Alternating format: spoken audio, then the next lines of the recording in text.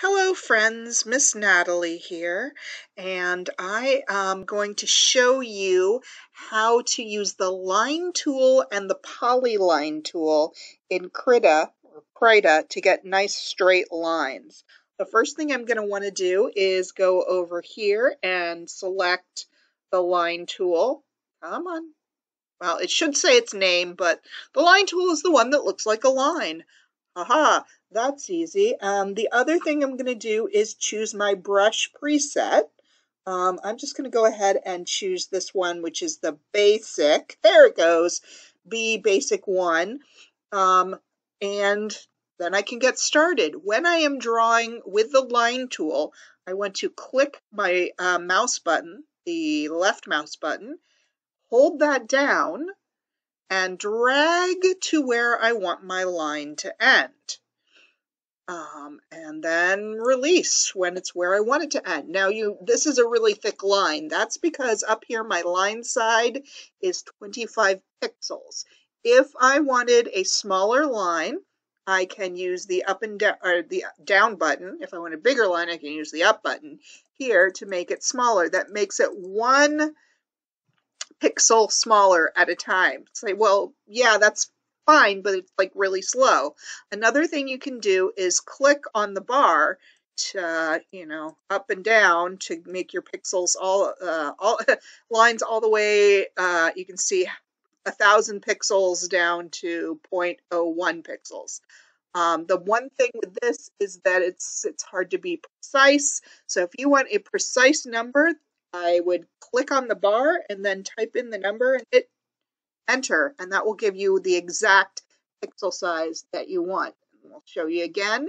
Now I have a 10 pixel line that I click where I want it to start and hold down, and then I can make it at an angle, I can make it vertical, horizontal. The thing I like about the lines is you can see the guide will be perfectly straight if it is perfectly vertical or perfectly horizontal.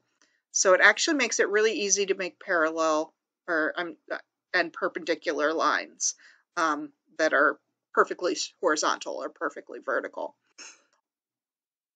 Now, one of the disadvantages of just using the line tool to do that is that, oh, this isn't too bad. Um, I've been practicing a lot, but you can have these weird like overlaps or gaps if you don't get it exactly the right distance away. So the tool that solves that problem is the polyline tool. It makes you basically make a multi-part line that can go at different angles. So here's the polyline tool. We'll click there. And with the polyline tool, you uh, just click your mouse once. You don't hold it down to start. Just click it once. You draw your line to wherever you want the next section to be, and you click it again.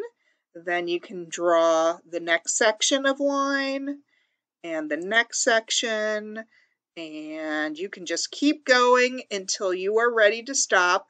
And then once you've drawn the last section of line that you want, you hit shift and click your mouse and there you go. You've got your shape and it works with straight lines. This is all straight lines, but it's really nice. So I could make, uh, like I just clicked and click and click and click back up there. And oh yeah, that's right. If you go back to your original point, it will fill it in for you. So if I want to make a, uh, or I shouldn't say fill it in. It will it will end the shape for you if you go back to your original point.